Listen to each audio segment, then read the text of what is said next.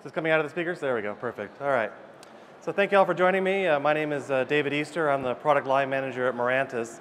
And as a product manager, I'll let you know that uh, some people think of what's the worst possible thing that can happen is failure. And actually for me, the worst thing that can happen is to succeed, but succeed only once. So you want to be able to succeed more than once. And so my presentation here today is about what happens if you're successful in your first implementation of OpenStack, then what happens. So I'll kind of go over it. I've only got 15 minutes, so I'm not going to give you all the answers, but this is more of a teaser. Get your mind in gear, think about things that, uh, that you can take with you to other parts of the uh, convention today and tomorrow. So today I'll cover the uh, challenges that you have, uh, kind of cover the, the ideas that uh, you run into when you've been successful only once. Talk about uh, once you've been that successful once and you're asked to repeat yourself and be able to be successful more than one time, what are the next steps you need to do? And the, in there you need to think about deployment. So prior to the installation, you know, what are you going to do before the deployment, make all the choices you need to make. Then there's the actual deployment itself, and what are you going to make your choices about how to do the deployment. Then there's the once you've actually deployed it, how will you make sure that deployment is successful? How will you care and, and feed and maintain that deployment moving forward in terms of operations and ongoing? And then when you get to the next version of, uh, of the, the situation, how are you going to patch and upgrade the, uh, the deployment that you've done?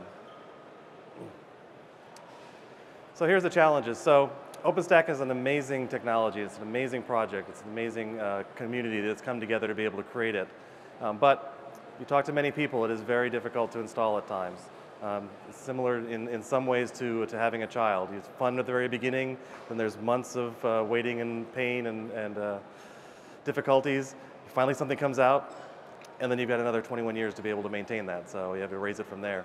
But um, so it's, it's very difficult, it's very challenging. The documentation certainly is there on the community, but uh, it's not always the, the, the, easiest way to be able to understand how to do your deployment, so there's challenges there. Um, next part is that once it's actually deployed, there's very limited resources and limited information that's out there in the community about how to keep your operation up and going, how to make sure it's running at peak efficiency, how to make sure it's the most efficient that's there. Um, you, know, you want to be able to make sure that you're meeting your SLAs, meeting your business requirements, and what's out there in the community to be able to help with that. Uh, after that, you know, we find that, again, successful only once is not sufficient. Uh, organizations and businesses are doing multiple clouds, even within the same company or within the same organization, and need to be able to take that um, success and be able to repeat it over and over again and do it successfully every single time. And then finally, you know, once you've actually deployed a cloud, depending how long it took you, by the time you've actually deployed a particular version of, of your cloud environment, there's probably a new version that's already available, whether that's a major version depending how long it took, or even minor version. There's versions that come out uh, you know, every few weeks or so, and what are you going to do to keep up with the community, a very fast-paced and, and uh, accelerated and very invigorating community, how do you keep up with what they're producing for your environment? So prior to installation, so on your first cloud, you probably cobbled together some hardware and you found some you know, old devices in your closets and got it all together and, and were able to put it up. Once you actually are asked to, to, to, to uh, duplicate that and create a production cloud or create another, uh, you know, more than a POC of your environment, um, it's going to take some time to get the actual physical hardware to be able to do that successfully, whether it's actually at the company already or you have to order it and buy it and bring it in. Um, so, so one of the things that you should think about when you're starting to roll out your second and further clouds is getting that, that hardware. You know, what's, what's going to happen, what's it going to take to get the appropriate hardware. You're going to have to also make decisions, obviously, about the hardware itself as well. So what kind of hardware you're going to use. Next big thing that we run to uh, at Mirantis is the biggest chunk of time is the network setup, the network uh, environment, the network configuration. That will take up most likely 60 to 70% of your time getting everything set up properly to be able to have uh, the, the OpenStack uh, components communicate with each other properly. So that's really big. Don't discount how long that's going to take. That's going to take quite a while. And one of the challenges that happens there is that you've got communication between um, groups. So you've got to talk between your, your server group, for example, and your network group. So you have to make sure that those are all uh, there and those communication paths are open at the beginning. And then of course there's the actual configuration of the servers themselves, so you have to make sure you have time to actually go in there and make sure the BIOS is correct, the firmware, the hardware, configuration parameters are all set properly. So, so what are some ideas that you can do to prepare that? So um, the one thing you want to do is pre-plan, like I said, your hardware requirements. And we've actually got a utility that's up on our website that lets you pick the right hardware for your OpenStack configuration. Make your decisions about how you're going to do your deployment. Will it be highly available, which means you'll need multiple controllers for your high availability what kind of networking service do you want to use? Do you want to stay with Nova Network? Do you want to start using Neutron? If you do Neutron, do you want to do GRE or VLAN segmentation? So make all these decisions up front before you actually start doing your deployment. Figure out once you've got your hardware out there what each of those hardware um, items are going to be in terms of roles. Is it going to be a controller? Is it going to be a storage node? It, will it be uh, a standalone network node? Uh, will it be a compute node? Know, make your choices ahead of time about what you're going to be doing there. Will a node be completely standalone? Will it be a combined role on that? So make those choices way in advance so you know exactly what you're deploying and how you're going to deploy it make your, uh, like I said, your networking decisions up front. So create your networking address plan, lay out your VLANs, lay out your network information, um, not only at the, the, physical level and the, uh, the network level, but also at a logical level. So which, which uh, VLANs are going to be used for communication for admin, which uh, networks are going to be used for storage, which are going to be your public networks. Is there going to be uh, communication to the internet, et cetera? Plan all that out way ahead of time because that's going to save you a lot of time and effort having written it down and having that, that sheet available to you. Once you've got all that, that pre-installation work done, now you've actually got to do the deployment. And here again, you've got a whole bunch of choices. There's lots of deployment technologies that are out there.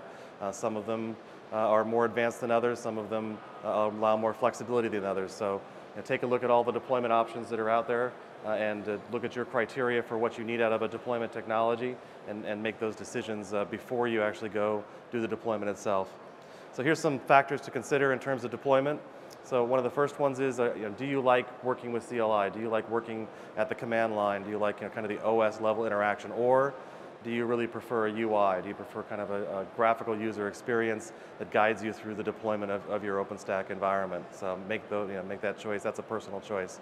Um, as you pick the deployment technology, can you call somebody for help? Is the, is the community or the environment uh, around who created that deployment technology, are they easily available, readily available to answer your questions? Uh, if there's something, uh, I have a question about how to use the, uh, the technology, or even if there becomes a, an error or a, a, bug or a defect in that technology, can somebody respond quickly to that need? So think about that when you're picking your deployment technology. Um, is it flexible? Can you, can you make the, the uh, deployment technology do what you want it to do, or is it, is it rigid? Will it only deploy in a certain way onto a particular uh, configuration? Um, can you run it on your own hardware initially? So there are some de deployment technologies that are linked to a particular hardware configuration, uh, OS, hypervisor, uh, all the way up to the guest OS. And uh, you know, is that what you want in your deployment technology, or do you need something that's, that's more configurable, more extensible, more enhanceable uh, for your business needs? Uh, how much automation do you require? Is this something that you're going to be doing a thousand times or just twice? Uh, so how much automation needs to be part of this deployment technology? How much, how much effort uh, do, can you put into it in a manual process and how much to be able to do this through an API or some sort of automated orchestration? Can you actually deploy multiple environments from the same utility? I mean, we find that, uh, again, customers and organizations are deploying multiple clouds uh, into multiple data centers and you need to be able to have that capability in certain cases or if it's all in one place, it's all one cloud, then perhaps you can use something that's more silo oriented to be able to get your deployment in place. And then is the, is the process easily repeatable? Can you do it again and again and again and be successful every time? So some things to think about in terms of deployment. So now you've actually got it deployed, now it's post-deployment. So the cloud is up and running. Did you deploy it successfully? You know, have you done run all the tests against it? Have, is it does, can it be used in real world environments? Now Tempest is, is excellent at just testing the APIs and making sure that things are running at a basic level, but perhaps you need something a bit more. Perhaps you need something that runs real world use cases to be able to test the OpenStack environment uh, under business workloads with the real world use cases for, for what your customers are actually going to use this for. So you're probably going to need a tool that does more advanced tests against high availability. Is your, is your cloud resilience, is it going to survive uh, in, in the case of a failure? Um, what about all the platform services that are on your OpenStack environment? Because as we know, infrastructure isn't there just for infrastructure's sake. You need to have some sort of business workload on top of it, and that's where platform services come up and you're going to need some sort of testing capability for those platform services. And then for the, the monitoring capabilities, so Ceilometer is, is incredible, it's excellent, but it's, it, it's in its infancy and it's certainly, it's growing, it's adding maturity, it's adding additional capabilities as it moves onwards. It's, it's you know, finally in, in, integrated status in terms of, uh, of Havana, but uh, from a monitoring standpoint, you may need something more in your network to be able to get the information you need from your environment to make decisions around your business or your organization. So um, if, for example, you may want to have something in terms of thresholding where as a value goes above a particular level, take a particular action, you know, take an action against the OpenStack to change a parameter or to, uh, to or do a different orchestration. And when that happens, it leads you down the path of self-healing. And uh, there are technologies and there are capabilities for monitoring tools that are out there that do this today. uh, and obviously OpenStack as a, as a community project will catch up with that, but something to consider if you're really putting a, a business workloads into your OpenStack environment, you need something to be able to do that monitoring. Then there's the, the ongoing operations, so you know, the day-to-day you know, care and feeding of your OpenStack environment. Um, how do you add nodes to your OpenStack cloud? How do you remove nodes from your OpenStack cloud? I mean, one of the values of OpenStack is the elastic nature of, of the technology. So uh, if you have a, a workloads that have exceeded the, the, capacity of your OpenStack cloud, you want to add additional nodes, how easy is it to do that? You know, make the decisions and make the ideas of how you're going to accomplish that as you move forward. Um, there may be situations in your organization where you actually want to allow uh, end users or developers to create their own clouds for short periods of time and be able to then tear those down. How automated is that process and, and how can you do that very easily and continuously within your organization? And then from a cloud operations standpoint, you've got the uh, you know, gathering information about the cloud itself. How big is my cloud? What kind of nodes are out there? What are the roles that are being done in those nodes? Um, how's the performance that's going on? How are the configuration parameters that are in place? Is the cloud running as efficiently as possible? All those are things that your cloud operations team is going to have to do uh, to be able to keep that cloud up and going. So you know, think about that when you're, you're thinking about deploying your second or, or, X number of clouds. You're going to have to have an operations group that has those tools available to them and knows how to use them and, and take advantage of them. So again, the OpenStack cloud, it just, you know, OpenStack train, excuse me, just keeps on rolling. I mean, there's uh, release after release after release. And again, it's not just the major releases, it's also the, the maintenance releases, the bug fixes, the security fixes. So is your organization set up to do CI/CD, continuous integration, continuous deployment? Um, do you want to draw down from trunk every single time it's available uh, and be able to, to uh, integrate anything that you've got within there? Um, you know, can you keep up with that six to eight week release process and bring down that code, be able to test it and get it out deployed every single time? And think about if you've got your own uh, unique um, advancements or extensions you're doing to your environment, it's going to be geometric in terms of the amount of time it takes to be able to keep up with that. So because you have to download uh, from the trunk, put in your fixes in there as well, and retest everything to make sure that not only do your fixes work properly, but you haven't broken anything in the community. So really something to think about. How much CI/CD do you want to be able to do as an organization? And you get, excuse me, get on to patching. So again, patches, you know, the maintenance releases that come out. Um, patching is typically done through uh, you know, in-place patching, so you know, it takes the resiliency of OpenStack into consideration. You can take down a service for a very short amount of time, patch it. Typically, patches will allow you for backwards compatibility but you know, it's something to think about in terms of the availability of your operation.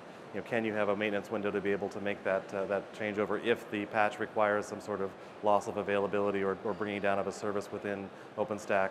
Um, usually relatively painless, but you know, something to consider. And if you're successful and you have a, an OpenStack environment that's out there, you're going to have to keep in mind, you're going to have to patch it very continuously. Then finally, upgrade, which is you know, the, the, the big issue that comes up. Now at Mirantis, we found that probably the safest still uh, methodology for doing upgrades is to create a parallel uh, OpenStack. And now you don't have to use up the entire, you don't have to, don't have to duplicate all the resources in, in your, your second cloud. You can steal some resources from your initial cloud, build your second cloud, and then start to migrate workloads over. And we find that that's, that's very successful, relatively low risk, and, uh, and, and, leads to the, the, best possibility of success. But uh, you know, something to think about, so when you create your first cloud, always leave a little bit of capacity available or know that your upgrade's coming up, you may have to add a little bit of capacity into your environment to be able to uh, plan that second cloud, make that up and running, and uh, be sure that you can do that upgrade successfully. Um, you know, again, it, it, doesn't have to be a, a, major disruption in your environment. It could be a switchover relatively quickly, but it really is something that you need to consider uh, to make sure that your successful deployments continue forward.